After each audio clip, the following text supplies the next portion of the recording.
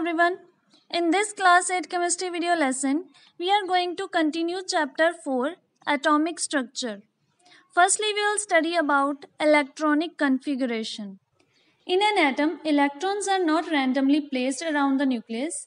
They are placed in fixed energy levels or energy shells as suggested by Bohr's atomic model. These shells are named as K, L, M, N and so on. The arrangement of electrons in these shells is known as electronic configuration. The filling of electrons in an atom is a stepwise approach.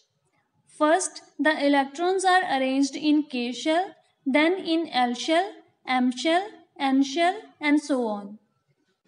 Means the energy levels or energy shells are filled in order of increasing energies. In order to write down the electronic configuration, one should have knowledge about the number of electrons in one atom of the element and the maximum number of electrons that can be accommodated in different shells of the atom.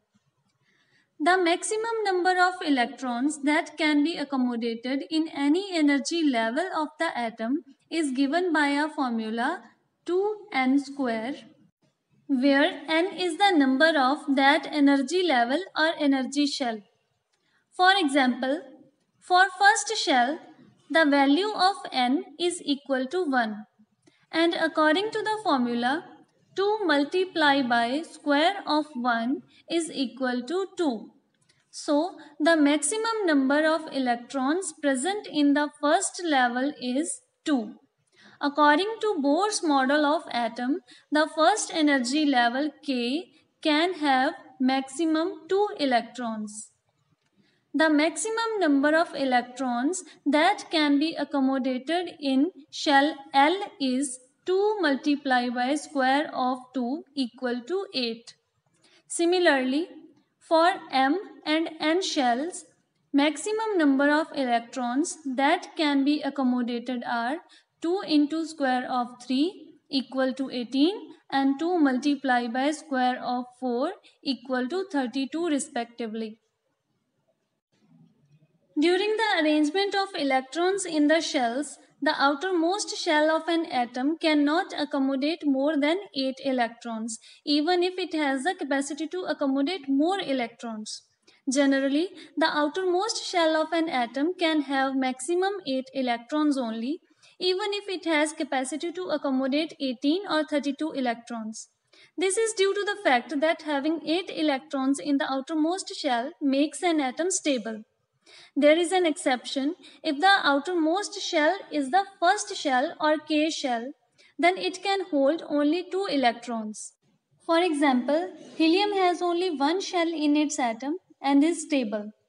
Electrons in an atom do not occupy the new shell unless all the inner shells are completely filled. Based on this information, now we will study about the electronic configuration of first 20 elements. The atomic number of hydrogen is equal to 1. It means it has one electron. This electron gets easily accommodated in the first shell that is the K shell. Thus, the electronic configuration of hydrogen is 1. The atomic number of helium is 2, means it has 2 electrons in it. As the first shell or K shell can accommodate maximum 2 electrons, therefore these 2 electrons will be placed in first shell only and the electronic configuration of helium is 2. The atomic number of lithium is 3, means it has 3 electrons in it. As K shell can accommodate maximum 2 electrons, therefore after filling 2 electrons in K shell, the remaining 1 electron will occupy the L shell. Hence, the electronic configuration of lithium is 2, 1. Similarly, the electronic configuration of beryllium with atomic number 4 is 2, 2. The electronic configuration of boron with atomic number 5 is 2, 3. The electronic configuration of carbon with atomic number 6 is 2, 4. Nitrogen with atomic number 7 has electronic configuration 2, 5. Oxygen with atomic number 8 has electronic configuration 2, 6. Then fluorine with atomic number 9 has electronic configuration 2, 7. Neon with atomic number 10 has electronic configuration 2, 8. As K shell can accommodate maximum 2 electrons and L shell can accommodate maximum 8 electrons, it means neon has completely filled K and L shells. Then the next element with atomic number 11 is sodium. In sodium, there are total 11 electrons. The first two shells are completely filled by 10 electrons by placing 2 electrons in K shell and 8 electrons in L shell. Therefore, the remaining 1 electron has to occupy M shell. Thus, the electronic configuration of sodium is 2, 8, 1. In the similar way, the electronic configuration of magnesium is 2, 8, 2. The electronic configuration of aluminium is 283. The electronic configuration of silicon with atomic number 14 is 284. The electronic configuration of phosphorus with atomic number 15 is 285. The electronic configuration of sulfur is 286. The electronic configuration of chlorine is 287. The electronic configuration of argon is 288. Then we have potassium with atomic number 19. M shell can accommodate maximum 18 electrons, but we cannot write its electronic configuration as 289. As it is discussed earlier that the outermost shell of an atom can accommodate maximum 8 electrons, so if we will write its electronic configuration as 289, then here the outermost shell will have more than 8 electrons and it will be wrong. So the electronic configuration of potassium is written as 2881. Similarly, the electronic configuration of calcium is written as 2882. Then next we have the octet rule. According to the octet rule, atoms which have 8 electrons in their outermost shell are stable and they do not react with other elements. For example, all the noble gases except helium have 8 electrons in their outermost shell. So they are stable and do not react with other elements. That's why they are called as inert gases or noble gases. They are also called as rare gases. Now we know that in every atom a fixed number of electrons are present in each shell. The electrons present in the outermost shell of an atom are called valence electrons.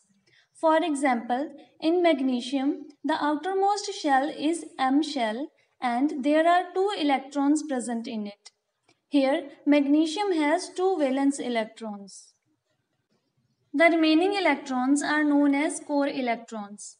In magnesium, 2 plus 8 means total 10 electrons present in K and L shells collectively are known as core electrons. We know that stable atoms have 8 electrons in their outermost shell. Such elements having 8 electrons in outermost shell are called noble gases or inert gases. They do not react or combine with any element. In other words, we can say that their combining capacity is zero. For example, helium and neon. Helium has two electrons in its outermost shell and all other inert gas elements have 8 electrons. The combining capacity of the atom to form molecules either with the same or different elements is called as valency. Valency of an element is expressed in terms of number of electrons which an atom of the element loses, gains or contributes for sharing in order to acquire the stable nearest noble gas configuration. For example, elements like hydrogen, lithium and sodium atoms contain one electron in the outermost shell. Therefore, they can lose one electron to become stable. So, their valency is 1. And one atom of chlorine has 7 electrons in the outermost shell. So it is easier for chlorine to gain one electron instead of losing seven electrons to acquire the nearest noble gas configuration. Its valency is 1 because it gains one electron to become stable. There is one more method to find out the valency of an atom. If an atom contains less than 4 electrons in its outermost shell, the valency of atom is equal to the number of valence electrons present in the atom. For example, aluminium has 3 electrons in its outermost shell. So the valency of aluminium is 3. On the other hand, if the outermost shell has more than 4 electrons, the valency is 8 minus the number of valence electrons. For example, chlorine atom has 7 electrons in the outermost shell. So its valency is determined by subtracting 7 from 8 which gives the valency of 1 for chlorine. So chlorine's valency comes out to be 1 like this. In case of ions, the valency is the magnitude of charge carried by an ion. For example, sodium ion has 1 positive charge on it. So its valency is 1. Aluminium ion carries 3 positive charge on it, so its valency is 3. Oxide ion carries 2 negative charge on it, so its valency is 2. Hydroxide ion has 1 negative charge on it, so its valency is 1. Phosphate ion carries 3 negative charge on it, so its valency is 3.